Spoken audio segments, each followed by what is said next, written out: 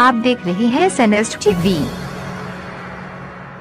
नमस्कार, मैं Vishal Patel S N S TV में एक बार फिर से आपका स्वागत है। आइए रुक करते हैं कुछ खास खबरों की ओर। बता दें कि वाराणसी एडीसीपी महिला अपराध ममता रानी से महिला अपराध सुरक्षा को लेकर एस एसएनएस टीवी से हुई खास बातचीत।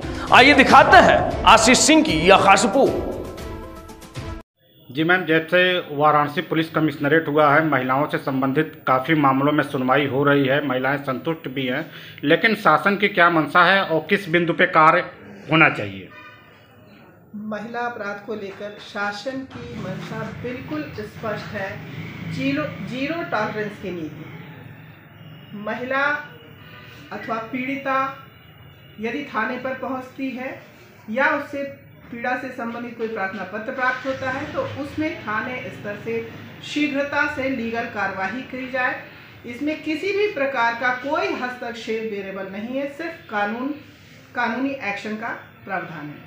जी, बिल्कुल एक तरह से देखा जाए तो आपके माध्यम से एक ट्रेनिंग प्रोग्राम का आयोजन भी किया गया और जिससे काफ़ी थानों के लोग आए और उस ट्रेनिंग के माध्यम से एक उस पर एक पटल कार्य भी कर रहे हैं तो क्या रिस्पांस मिल रहा है?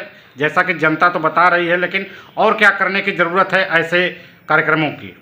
हाँ हमारे सीपी सर का निर्देश भी है और उनके मार्गदर्शन और नेतृत्व में हम लोगों ने ट्रेनिंग का प्रोग्राम चलाया है ताकि जनता से और विशेषकर महिलाओं से पुलिस जन का व्यवहार संवेदनशील, मानवीय हो और, कानून, कानूनी स्तर पे जो उनकी मदद हो सके, उसके प्रति वो सेंसिटिव हो।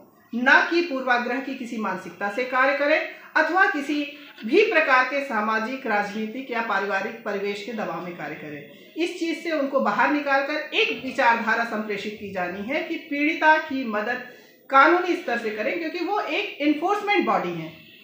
ये हम लोगों का सतत प्रयास है और मेरा अथक प्रयत्न है इस संदर्भ में कि महिलाएँ जो आज काफ़ी हद तक अपने अधिकारों के प्रति जागरूक हैं और अपनी बात कहने प्लेटफॉर्म थाने तक जो शासन ने एक प्लेटफॉर्म दिया है महिला हेल्प डेस्क का प्रत्येक थानों पे वहाँ पर जाकर अपनी बात कह रही हैं तो उनकी पूरी मदद की जाए। जो कानूनी मदद है पूरी की पूरी मौके पे जाए मदद हो। जी बिल्कुल और हमारे S N S T V channel के माध्यम से महिलाओं को क्या संदेश देना चाहेंगे?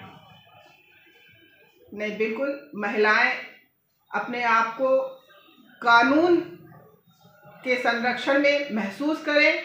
उसका प्रभाव बढ़ा है आप लोगों की जागरूकता भी बढ़ी है और हमारा प्रयास है आप निसंकोच होकर के अपनी बात को आ, सामने ले आए ताकि उन बातों का कानूनी ढंग से समाधान निकाला जा सके और किसी भी प्रकार के दबाव को महसूस नहीं करें। बहुत छोटी छोटी समस्याएँ हैं जो प्रार्थना पत्रों के माध्यम से मुझे देखने को मिलती हैं। जैसे मोबाइल की समस्या है मोबाइल के नाते परिवार या पति पूरा समय ना बच्चों को दे रहे हैं ना अपनी पत्नी को दे रहे हैं ना घरेलू काम काजों में हाथ बटाते हैं जबकि मोबाइल पत्नी के हाथ में भी है और पति के हाथ में भी है।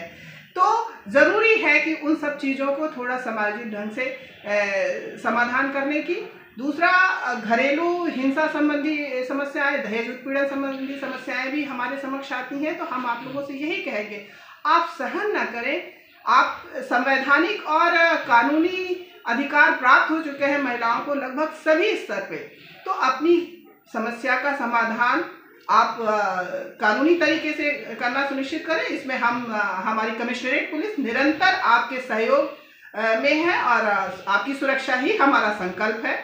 ये मेरा आपसे। बहुत बहुत धन्यवाद।